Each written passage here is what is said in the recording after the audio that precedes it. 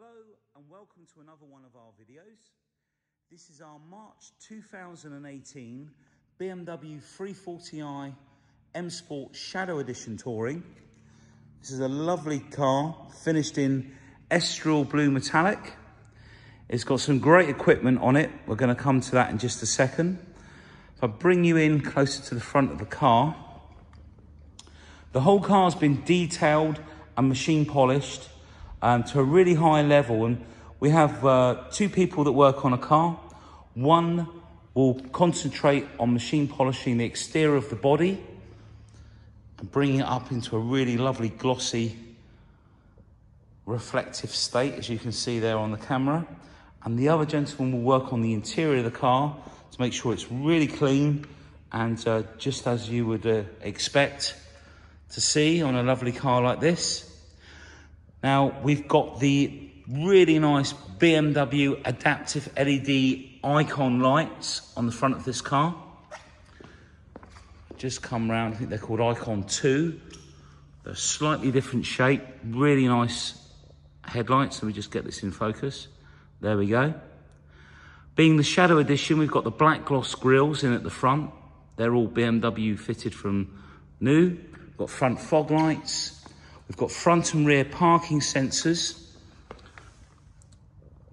All of the front bumpers in really nice condition. There are a car, uh, there are a couple of tiny little stone chips uh, which have been touched in. You'll just see very slightly darker little pinpricks. Not, nothing to speak of because you can hardly see it on the camera. But um, there are a couple of little chips which you'd imagine on the car low down. But if we look, these are all the areas to watch out for. There's no big chips or anything. We're just talking about little specks really. And if we look at this side as well, you see it's in really nice condition. We're being really transparent um, about the condition of the cars. If we come in onto the, let me get out the reflection here for a second. If we come across the front really slowly, look, there's nothing nasty on there. Really nice. You're under, this is this car's under like 19,000 lumen LED daylight bulbs, which uh, will highlight anything basically. But all in lovely condition. We've got heads up display as well. I'll just come out and show you this side of the car, the driver's side. So we've got the 704M alloy wheels with the M Sport brakes and the blue calipers.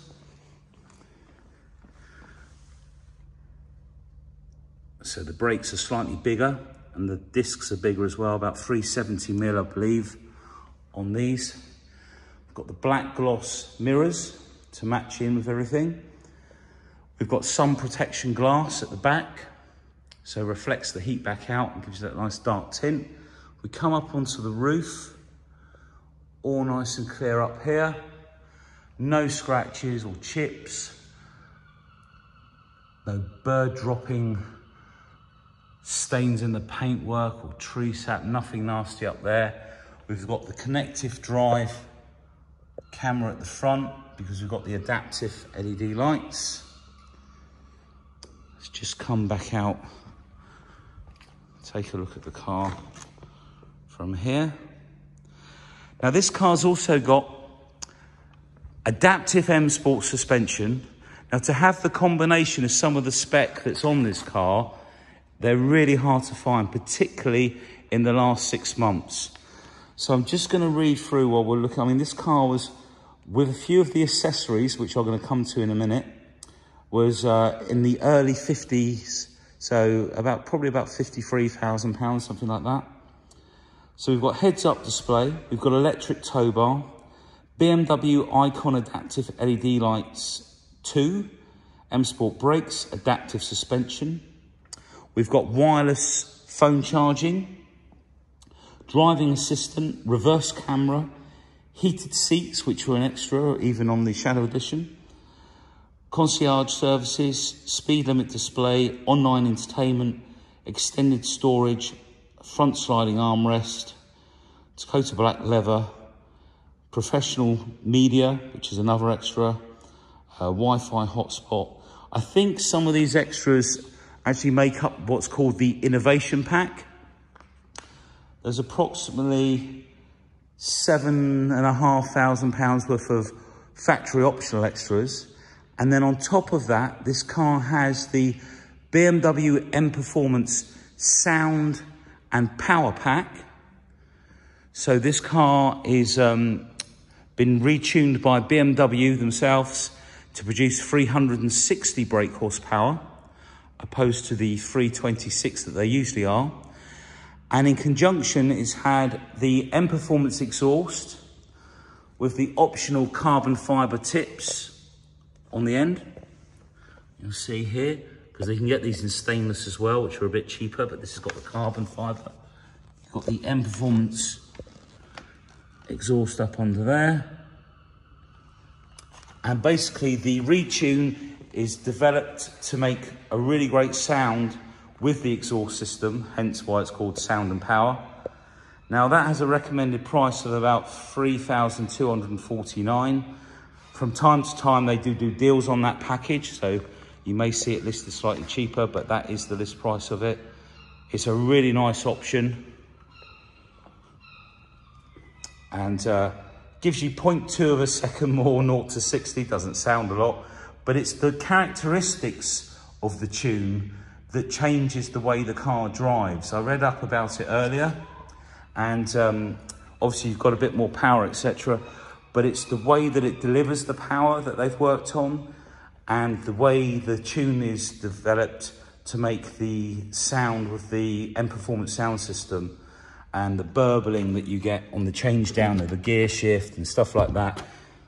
So it's all been done by the BMW engineers and a really great option. Just showing you around the filler cap here. There's no damage or anything. The bodywork's really nice. I mean, it's a really great car, this, the 340. They're very rare in the, in the touring. And with this spec, even more so. So just come back round to the front. So there we have it. 340 Touring. Let's take a look inside.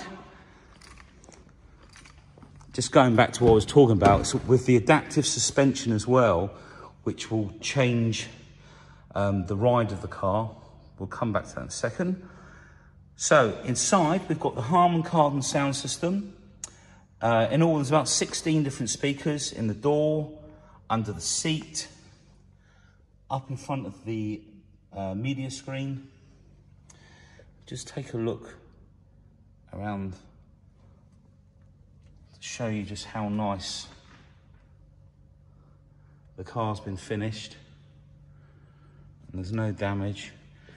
Look at this door card. All in really nice finish. It's got the carbon um, handle uh, finisher with the pearl chrome finisher. We've got uh, puddle lights down at the bottom. See how nice and clean it is all down there. No scuff marks down the edge of the door either. And then we've got the Dakota leather seats with electric bolster which inflates the sides to grip you into the seat. First time I've used the word inflate, usually I say it's going to blow up. Sounds like it's going to explode. Let's take a look in the rear of the car. So again, the door card, all in nice condition. A couple of very light scratches just on the door handle. Nothing too nasty, just in the center there. Just a couple of light scratches, just being really transparent.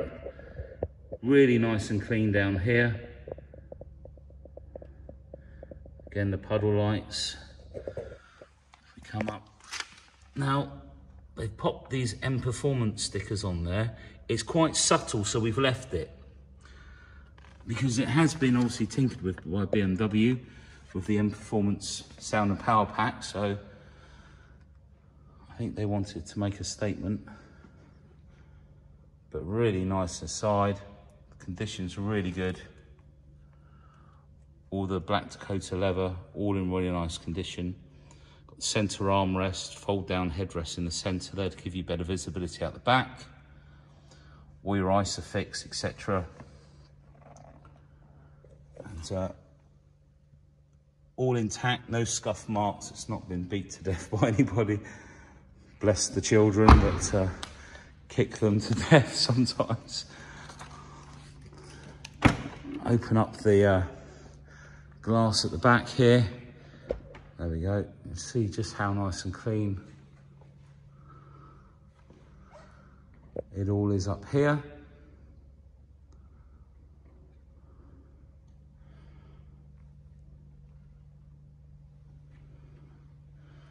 Really nice and clean there. So let's just pop that back down.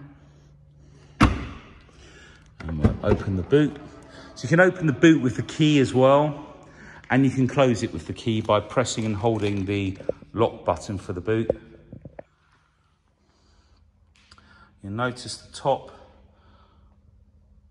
of the back of the bumper, all in really nice condition. And then uh, in the back of the car, all the carpets are really good. Got the extended storage. The netting comes up. So the blind that comes out, again, all in really nice condition. We've got storage under, oops, we've got storage under here. And you'll notice these little lugs. What they're for is this is like a divider. It's uh, sort of telescopic, comes apart, and uh, the posts go in either side, and you can divide the boot up so that nothing slides around in the boot. And then once that's been used across here, you can lay part of the parcel shelf. This piece will actually lay in the bottom of there. In fact, there's a picture showing you just so. So everything there, that's all the extended storage. We've also got a 12 volt socket, little hooks for your carrier bags. And then, uh, oh, press the button. And we've got the electric tow bar. So you don't necessarily need to be towing anything to make good use of these electric tow bars. If you're a keen cyclist and you want to put a bike rack on the back of the car, which is what a lot of people do nowadays, but you don't want that tow bar out all the time, at the press of a button, you've got a tow bar, you've got the electrics there. Not really had any use as you can see. And then you just press the button again and away it goes. Completely out of sight, out of mind, but there when you need it. Okay, let's pop this back up. Peter's gonna jump in the car for me and um, have a little listen to this uh, exhaust system.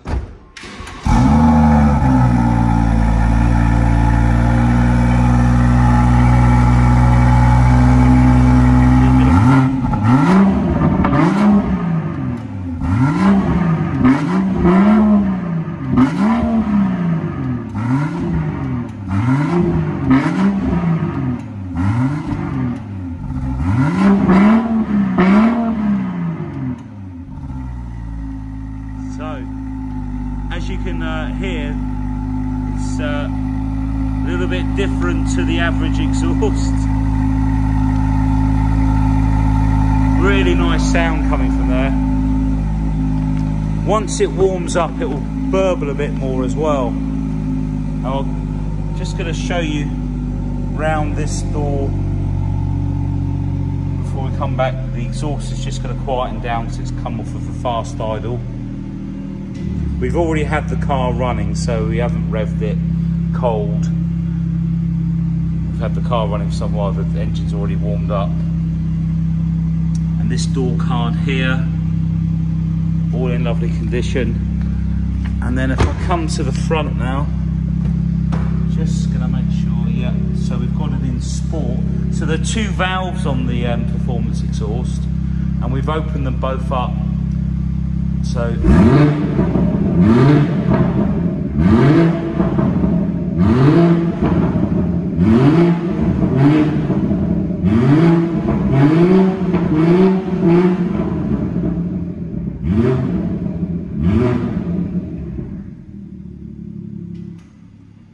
Now, you might have just heard that clicking noise. I'm now taking it out of sport and I'm going to rev it again.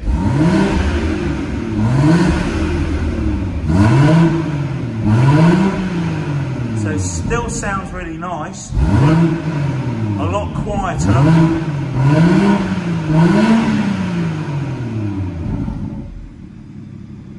Pop it back into sport.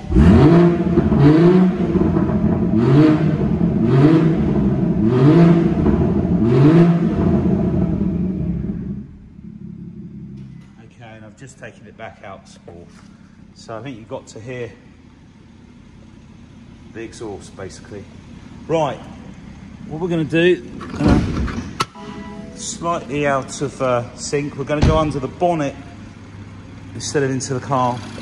Just want to show you that the uh, badge on the front here that supports the fact that it's had the M Performance Power Kit.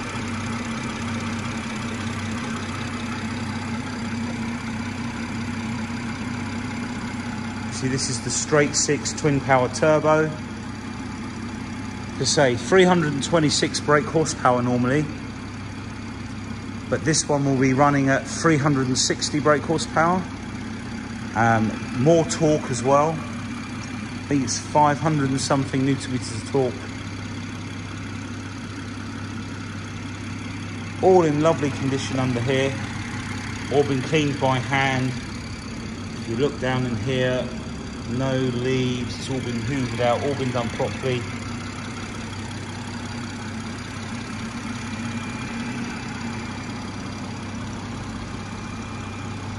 Just as shiny under the engine bay, sorry, under the bonnet.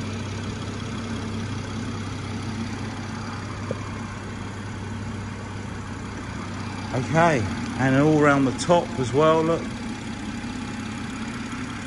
Really lovely car. Right, let's pop this down. Let's jump in the car at the front.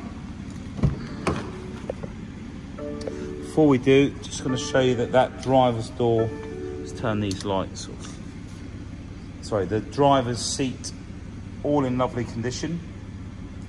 The bolsters, an area to check, no wear there. All of the seat base, carpets, pedals,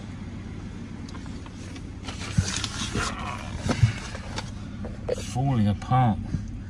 Right, now we've got Apple CarPlay.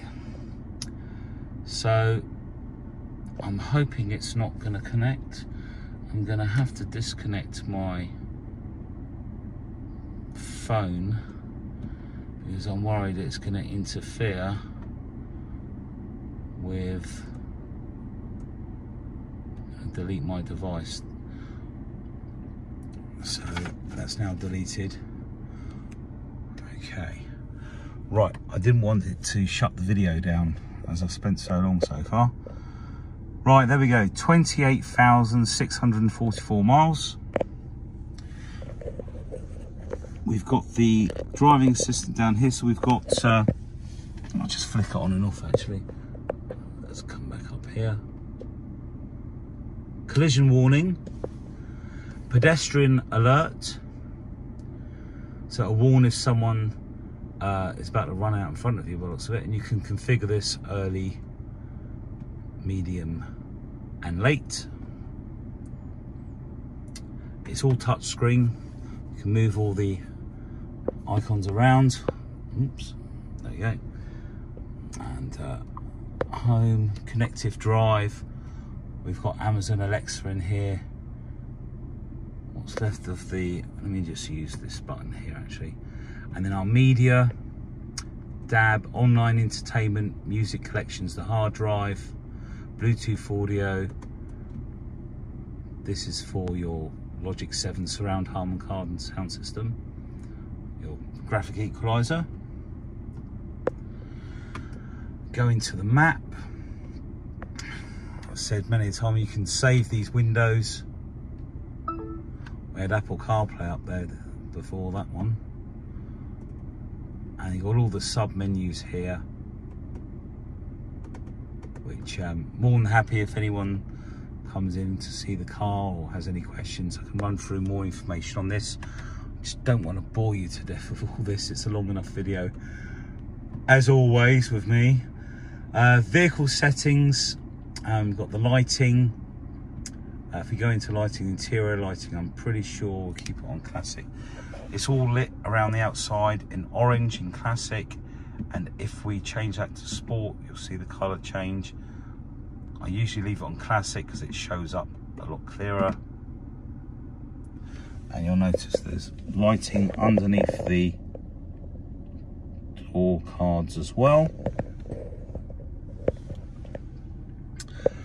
This is the button just down here, before I forget, for the adaptive LED headlights. So basically what will happen, when the adaptive headlights are turned on, the lights will turn with the turn of the steering wheel and the camera up on the top here in front, just up here, will basically um, close down your main high beam. It's got high beam assist as well.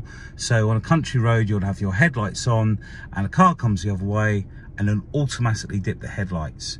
And while on that road, if you're turning around the corners, etc., the, the lights will follow the direction, the angle sensor on the steering wheel to light up the road in the direction that you're going.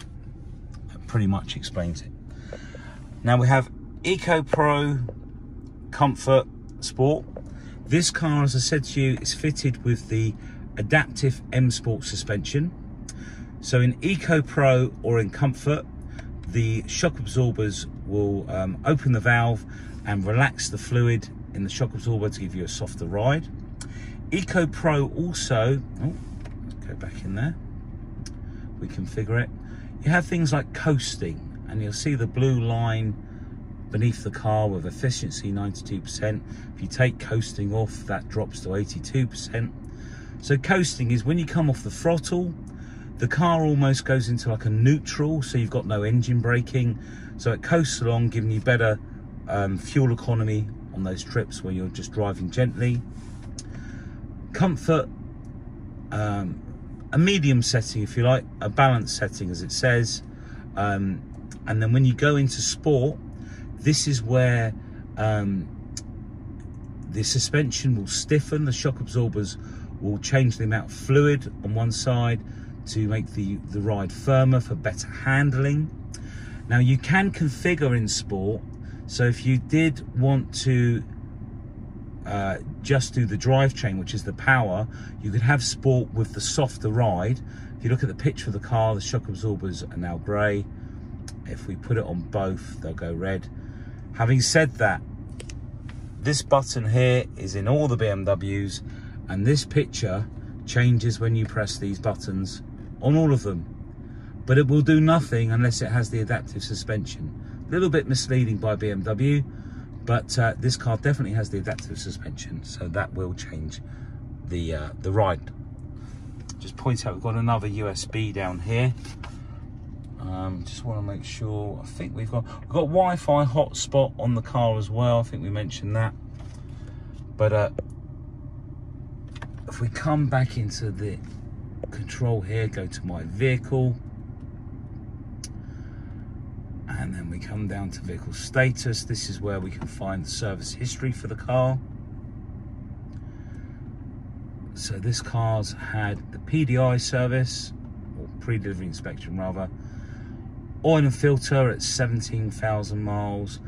Um, nearly two years later, they're, they're about 19,000 miles or two years. So that's bang on time. This will be a brake fluid change, which it is. And then I believe this is due to go into our um, workshop that we use, the BMW specialist. And we will probably do the oil change early. The brake pads on the front will be changed. Brake fluid's fine rear pads are fine. So all of those items will be done, uh, the, the brake, uh, sorry, the oil will be done ahead of time and all of the servicing will be put into, um, oops, into the iDrive here. So it will show up in this section and it will also be uploaded onto the BMW platform. So you'll be able to see it at a BMW dealer on their system with all the other services. Okay. We've got speed limiter, cruise control. Now the heads up display, let's just shut the door again actually. Let me just zoom in. We've got speed limit display as well. Right above that number plate in front, um, let me try and see if I can get this to, it's very hard, where is it? If I come to about here,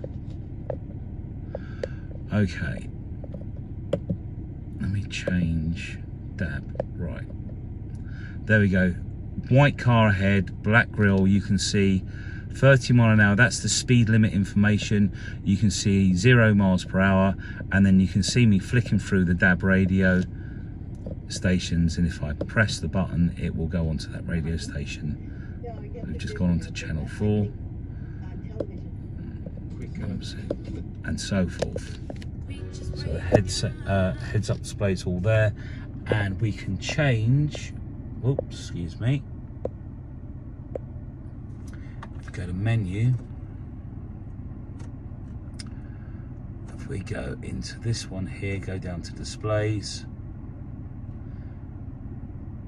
You can turn the heads up display on or off adjust the brightness, adjust the height, the rotation, and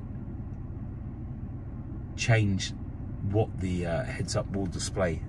We'll do your sat nav, uh, your music, telephone, um, speed limit, and speed uh, that you're currently doing. Right, let's jump out. Let's give it one more little blip. Very addictive. Does echo in uh, the garage here quite a bit. But there we have it. Our 340 M Sport Touring Shadow Edition with the M Performance sound and power pack.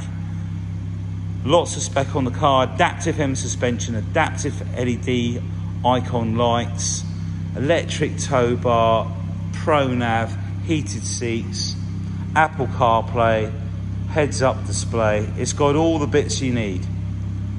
Thanks for taking the time to watch this video. Hopefully it's been helpful.